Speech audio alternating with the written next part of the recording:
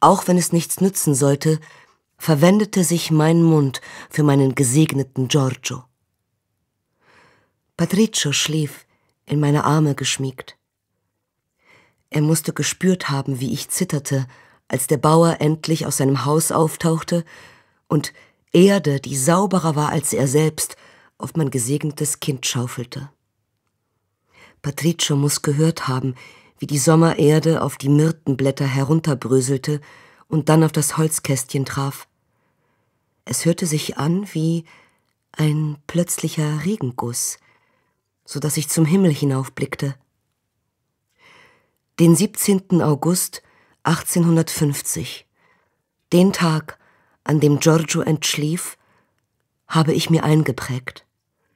Doch das Herabregnen der Erde, als mein Gesegneter von mir genommen wurde und der Abstand zwischen seinem und meinem Körper endlos wurde, hinterließ tiefe Spuren. Worte und Zahlen vermochten nichts dergleichen.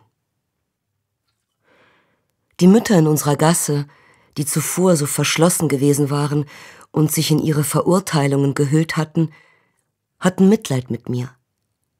Zu zweit und zu dritt kamen sie an meine Haustür und brachten mir ganze Walnüsse, Haselnüsse und Mandeln, die in Lefkada zur Vergebung der Sünden gerade Verstorbener offeriert wurden.